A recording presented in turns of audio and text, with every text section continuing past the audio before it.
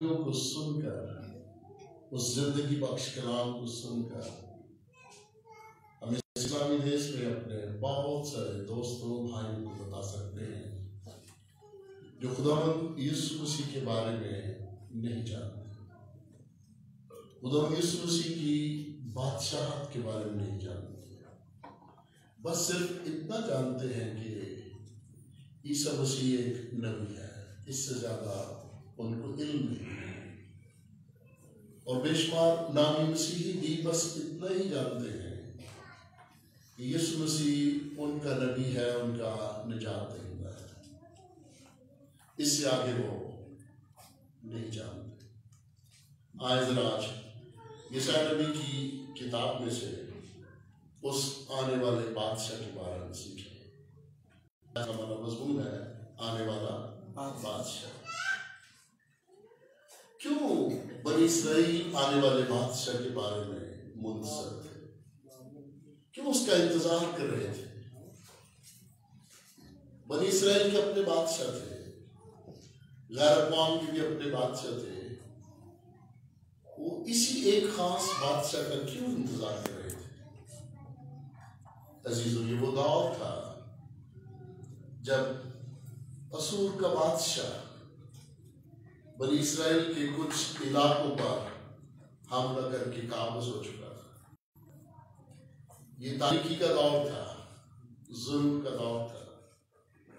بنی اسرائیل بڑی پریشانی کا شکار تھے۔ اور ایسے میں وہ سوچتے ہیں کہ وہ پشن گوئیاں جو زمانہ قدیم میں اس بادشاہ کے بارے میں ہوئی تھی وہ کب پوری ہوگی وہ دنوی غلامی سے نجات حاصل کرنا چاہتے تھے ان کی یہ سوچ تھی کہ آنے والا بادشاہ ہوگا اور وہ انہیں ان غیر اقوام کے ظلم سے بچا دے اور عزیز و لکھا ہے زبرون اور نفتالی کے علاقوں کو اسور کے اس بادشاہ نے بری طرح ذلیل کیا ہے اور آج دیکھیے گا خداون کا وہ پیغام کہ گھبراؤ نہیں۔ میں اسور کے بادشاہ کو بھی درست کر سکتا ہوں۔ میں غیر اقوام کے بادشاہوں کو ٹھیک کر سکتا ہوں۔ لیکن کیا تم سچ مچ میرے منصر ہو؟ میرے کلام پر ایمان رکھتے ہو؟ اس پر عمل کرتے ہو؟ کیونکہ اس دور میں بت پرستی بہت زیادہ تھی اور ایک بہت بڑی بیماری مردوں سے فال نکلوانے کا سلسلہ۔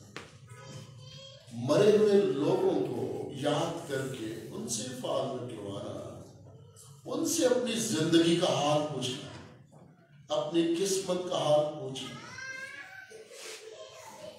یہ کیا خدا کی توہین نہیں ہے خدا نے عیسیٰ نبی کے وسیلے جو کلام اس قوم سے کیا اور آج بھی وہ کلام ہمارے لیے انتہائی بہت بڑا ہے کہ تم خدا تعلق کیوں نہیں ہوتے تم زندوں کی بابت مردوں سے سوال کرتے ہو تم زندہ لوگ ہو اور مردہ لوگوں کے پاس جاتے ہو ان سے سوال کرتے ہو اپنی زندگی کے بارے، مستقبل کے بارے۔ میں اور پھر ہاتھ کے بنائے ہوئے جو بت ہیں، ان کو سامنے رکھ کے ان کی پوجا کرتے ہو اور ان سے مدد مانگتے ہو۔ کیا وہ ہاتھ کے بنائے ہوئے بت تمہیں اسور کے ظالم حکمران سے بچا لیں گے؟ عزیزوں، ایک امید تھی بنی اسرائیل کے لیے کہ داؤد کے گھرانے کے حوالہ سے جو پیشن گوئی ہوئی ہے کہ خدا داؤد کے گھرانے سے ہی ایک عظیم ترین، صرف عظیم نہیں، عظیم ترین بادشاہ برپا کرے گا۔ اور وہ اب اس نئے بادشاہ یا آنے والے بادشاہ کے منتظر ہیں۔ انہیں ایک امید حاصل ہوئی ہے کہ خدا اپنی نجات بخش قوت سے ان کی مدد کرے گا۔ اور پھر خدا نے عیسائی کے وسیلہ ہی انہیں کیا پیغام دیا؟ یہ خوبصورت بشارت۔ کرسمس کے سیزن میں ہم بشارتی پروگرام کی ترتیب دیتے ہیں۔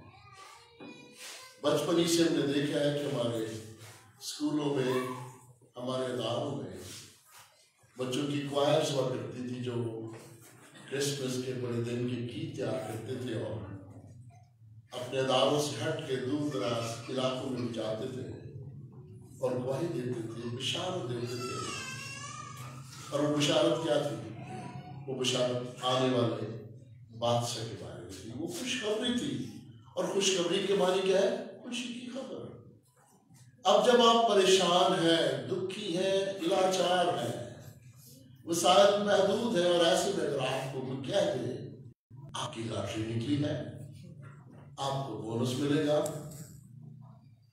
کوئی شخص آئے گا اور آپ کی مدد کرے گا، تو آپ کتنے خوش ہوتے ہیں اور یہاں اجتماعی طور پر قوم کے لیے ایک پیغام تھا کہ تم جو ظلم و ستم کے مارے ہوئے لوگ ہو، تم جو خدا کو چھوڑ کے غیر قوم کی طرح ملک کرام کی دیوی استرات کے ماننے والے ہو اب واپس آؤ۔ اور آنے والے بادشاہ کی طرف دیکھو۔ یہ آنے والا بادشاہ کون ہے؟ اس کی بشارت کیا تھی؟ اور خدا کی بخشش اور فضل کیا ہے؟ اور وہ بخشش اور فضل یہ ہے کہ ہمارے لیے لڑکا تو اللہ ہوا یعنی ہمیں ایک بیٹا بخشا گیا اور بیٹے کے بارے میں لکھا کیا ہے؟ سلطنت اس کے کندھے پر ہوگی۔ سلطنت اس کے کندھے پر ہوگی اور اس کا نام، اب اس بادشاہ کا توارف ہے یہ، اس کا نام عجیب ہوگا مشیر ہوگا۔ عجیب۔ کیوں ہے وہ عجیب؟ وہ خدا بھی ہے اور بشر بھی۔ ہے یہ عجیب ہے۔ میں اور آپ تو صرف انسان ہیں۔ ہم عجیب نہیں وہ خدا بھی ہے اور بشر بھی ہے وہ عجیب ہے۔ اور وہ مشیر ہے۔ تیسرا نام یہ تعارف ہے اس آنے والے بادشاہ کا ذرا اس بادشاہ کو کیوں عظیم ترین کہا گیا ہے؟ میں اکثر آپ کو بتاتا ہوں کہ آج کل پندرہ سال کا بچہ بھی جو اپنے آپ کو پادری کہنا شروع کر دیتا ہے یا بیس سال کا بچہ جو پادری اور بشپ کہتا ہے اپنے آپ کو، اس کا تعارف میں کنونشنز میں سنتا ہوں، کہتے ہیں کہ خدا کا عظیم خالق، عظیم کو بہت لوما کرتے ہیں۔ اور میں ہنستا ہوں کہ ایک دم سے یہ عظیم بن گئے۔ اور یہ اچھا ہوا ہے، اس نبی نے لفظ جو استعمال کیا لحاب کے وسیلے وہ عظیم ترین ہے۔ پتہ نہیں اب کل کو ہم بھی اپنے آپ کو کہ عظیم ترین خالق آئے۔ پیری بہن اور پیرے بھائی ہو۔ اس کو مشیر اس لیے کہا گیا ہے کیونکہ وہ ازل سے خدا کی مشورتوں میں نہایت گہرے اور قریبی طور سے شریک ہے۔ ازل سے۔ خدا کے وہ سارے مشورے ان میں وہ پوری طرح شریک ہے۔ اب پہلا نام عجیب ہے، دوسرا نام مشیر ہے۔ عجیب کے بارے میں میں نے کہا وہ خدا اور بشر ہے۔ اور مشیر کے بعد معنی میں نے بتایا کہ وہ ازل سے خدا کے ساتھ ہر بات میں، خدا کی مشاورت میں شامل ہے۔ تو پھر یہ آنے والا بادشاہ عظیم ترین ہوا۔ یہ دعوت بادشاہ سے بہت فرق ہے۔ جو بنی اسرائیل کا عظیم بادشاہ تھا، اس سے فرق ہے۔ دعوت عظیم تھا، پر یہ عظیم ترین ہے۔ اور عزیز ہو وہ خدا قادر ہے اس کا چوتھا تعارف ہے آنے والے بادشاہ یعنی وہ قدرت اور اختیار رکھتا ہے۔ خدا قادر ہے وہ قادر مطلق ہے۔ اور وہ پانچواں ابدیت کا باپ ہے۔ ابدیت کے معنی ہے ازلی۔ ابدیت کا باپ ازلی باپ ہے وہ۔ یعنی وہ ہمیشہ سے ہمیشہ تک ہے۔ یہونا رسول ہمیں یوں سکھاتا ہے کہ وہ الفا ہے، وہ اومیگا ہے، وہ اول ہے، وہ آخر ہے۔ نہ اس کی کوئی ابتدا ہے اور نہ اس کی کوئی انتہا۔ پھر عزیزو جب وہ ہمیشہ سے ہمیشہ تک ہے، تو گویا وہ اپنی زندگی کا بانی ہے۔ ابدیت کا وہ ابدی زندگی کا بانی ہے۔ اور اس کا اگلا نام یعنی چھٹا نام، وہ سلامتی کا شہزادہ اب یہ چھٹا تعارف میں نے آنے والے بادشاہ کے حوالے سے آپ کو کروایا ہے۔ آپ ذرا مجھے بتائیے جو دنوی بادشاہ ہیں، ان کا تعارف آپ کیسے کروائیں؟ گے وہ بے شک اپنے آپ کو کہیں کہ ہم بڑے عظیم ہیں۔ ہم ملک و قوم کے لیے بڑے ہی ملک و قوم کے لیے بڑے ہی فائدہ مند ہیں، ان کے لیے بڑے عام ہیں، بڑی اہمیت رکھتے ہیں۔ میں ان کے بارے میں بہت تعارف نہیں کروانا چاہتا کیونکہ دنوی بادشاہوں کو آپ سب سمجھتے ہیں؟ دنوی رہنماؤں کو آپ سمجھتے ہیں کہ وہ رہنما کم ہے، پاسبان کم ہے، روحوں کی فکر کم ہی کرتے ہیں، جسمانی فکر کم ہی کرتے ہیں۔ باتیں زیادہ کرتے ہیں۔ اور وہ خود محدود وسائل کے مالک ہے ہماری تو اقوام متحدہ بھی محدود وسائل کی مالک ہے ہمارا تو ورلڈ بینک بھی محدود وسائل کا مالک دنیا کے سارے بادشاہ بھی اکٹھے ہو جائیں، تو پھر بھی اس آنے والے بادشاہ عظیم ترین بادشاہ کا مقابلہ نہیں کر سکتے، کیونکہ وہ خدا مندوں کا خدا مند ہے، بادشاہوں کا بادشاہ ہے، وہ قادر مطلق ہے۔ اور اس کا ساتواں نام اور تعارف جو میں آپ کے گوشت گزار کرنا چاہ رہا ہوں، وہ سلامتی کا شہزادہ ہے۔ دنوی بادشاہ مارتے ہیں، قتل وارت کرتے ہیں، لوٹتے ہیں، مال لوٹتے ہیں، عزتیں لوٹتے ہیں۔ لیکن یہ بادشاہ مختلف بنا اس کا ٹائٹل کتنا اچھا اردو ترجمہ ہے۔ عظیم ترین۔ وہ سلامتی سے حکومت کرتا ہے۔ وہ امن کا بانی ہے۔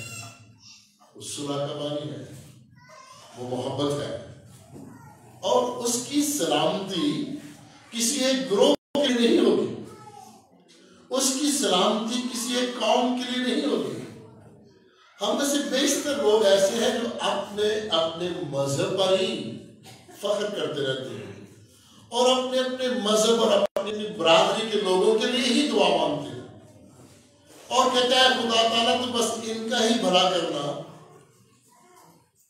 دوسرا بے شک غرق ہو جائے۔ یہ سلامتی تو نہیں ہے نا۔ کیا خدا و تعالیٰ تو میرے گھر کو بچا لے اور پڑوسی کے گھر کو بے شک آگ لگا دے۔ میرا کاروبار چل جائے پر پڑوسی کا نہ چلے۔ میرے بچے لائق بن جائے پر پڑوسی کے نہ بنے۔ میری قوم ایٹمی قوت بن جائے پر پڑوسی ملک کیا وہ کنگار ہو۔ سلامتی کا یہ شہزادہ جو ہے نا یہ سب کے لیے امن اور سلامتی کی خواہش رکھتا ہے اور لوگوں کی خواہش کے مطابق عطا بھی کرتا ہے اور اس کی سلامتی کی کچھ انتہا نہ ہو اس کی سلامتی پڑوسیوں تک، صوبوں تک، وفاق تک، پڑوسی ملکوں تک یا ایشیا یا یورپ تک نہیں۔ اس کی سلامتی کی انتہا کہ میں اور آپ جان نہیں سکتے۔ وہ ہر جگہ سلامتی چاہے گا۔ اور وہ کس تخت پر آ رہا ہے؟ وہ دعوت کے تخت۔ اور اس کی مملکت پر آج سے ابد تک حکمران رہے گا۔ دعوت کا تخت اس لیے کہا گیا ہے کہ وہ دعوت کے گھرانے سے۔ اور عزیزوں، اس کی مملکت آج سے لے کر اب تک قائم رہے گی۔ اور اس کی حکومت کا خصوصی پہلو کیا ہے؟ اب آپ نے موازنہ کرنا ہے دنوی حکومتوں سے آنے والا بادشاہ جس کا نام یسو مسیح ہے، دنیا جہاں میں کچھ لوگ عیسیٰ مسیح بھی ہیں۔ ہم یسو مسیح اس لیے کہتے ہیں کہ یہی بائبل مقدس میں کا نام ہے۔ یسو کے معنی بچانے والا، مسیح مسا کیا ہوا بچانے والا نجات دہندہ۔ اور اس لیے ہم کہیں گے کہ یسو مسیح کی بادشاہ اور حکومت میں فرق کیا ہے؟ اس کی عدالت اور اس کی صداقت سے کیا بخشے گی۔ اس کی عدالت میں عدل ہوگا۔ طرف داری نہیں ہوگی، رشوت نہیں چلے گی۔ اور اس کی عدالت میں صداقت قائم رہے گی۔ دنوی عدالتوں میں نہ انصاف ملتا ہے، نہ صداقت نظر آتی ہے۔ دنیا میں قانون بڑے کے لیے فرق اور چھوٹے کے لیے فرق امیر کے لیے فرق اور غریب کے لیے فرق لوگ نعرے تو لگاتے ہیں کہ جی ہم ایک ہی نظام قائم کریں گے، پر دنوی سوچ بڑی عجیب ہے۔ یہاں اپنا بچہ غلطی کرے تو ہم کہتے ہیں اسے معاف کر دو، دوسرے کا بچہ غلطی کرے تو ہم کہتے ہیں اسے بہت سخت سزا دو۔ اب دنوی بادشاہ پھر عدالت اور صداقت کیسے ٹھیک کر سکتے ہیں؟ اور یہ کون کرے گا؟ یہ آنے والا بادشاہ کرے گا۔ رب الافواج کی غیوری یہ کرے گی۔ جو رب ہے، ساری اقوام کا۔ جو رب ہے، کل کائنات کا۔ جو رب ہے، دنیا جہاں کا، کائنات کا۔ اس کی غیوری یہ سب کچھ کرے گی اور یہ کتنی خوبصورت بات ہے کہ آج میں اور آپ کرسمس کے اس سیزن میں آنے والے بادشاہ کو یاد کر رہے ہیں۔ اس کے نام پر غور کر رہے ہیں۔ اس کے تعارف کو سمجھنے کی کوشش کر رہے ہیں۔ اور اس کا خاص مقصد یہ سایہ کو یہ سکھانا اور آج ہمیں یہ سکھانا کہ یہ بشارت دنیا کو دو۔ یہ خوشخبری دنیا کو دو کہ تم بے شک مایوسی میں گھرے ہو۔ پریشانی کا شکار ہو۔ ضرور کا شکار ہو۔ تمہاری آہیں اور سسکیاں مجھ تک پہنچتی ہیں۔ جس طرح بنی اسرائیل کا رونا، ان کا آہو نالا ان کی سسکیاں خدا تک پہنچی اور خدا نے وقت مقرر پر ان کو فرعون کی غلامی سے چھڑایا۔ بیان اگرچہ ہم اقلیت میں ہیں تھوڑے ہیں، وسائل محدود ہیں، تو کوئی بات نہیں۔ ہمارے پاسبان ہمارے رہنما، ہمارے سماجی رہنما، انہوں نے ہماری خاطر کیا لڑنا ہے؟ انہوں نے ہمارے حقوق کی خاطر کیا لڑنا ہے؟ ہمارا بادشاہ ہمارے دلوں میں راج کرتا ہے۔ وہی ہمیں چاروں طرف سے پاک فرشتوں کی وسیلے سنبھالتا ہے۔ اور یہ آنے والا بادشاہ اپنی محبوب کی فکر کرتا ہے۔ آئیں، اس آنے والے بادشاہ کے نہ صرف منظر ہی رہیں، بلکہ سچے دل سے اسے قبول کریں۔ کیونکہ میں اور آپ پچھلے کئی سالوں سے، کئی دہائیوں سے اس کے بارے جانتے ہیں۔ اور اپنے والدین کے، بزرگان کے، ان دینی رہنماؤں کے شکر گزار ہیں، جن کے وسیلے ایمان کی یہ دعوت ہمیں ملی۔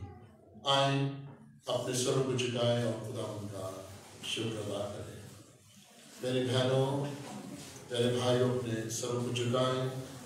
آپ کی خاموشی سے اپنے دلوں میں دعا کریں۔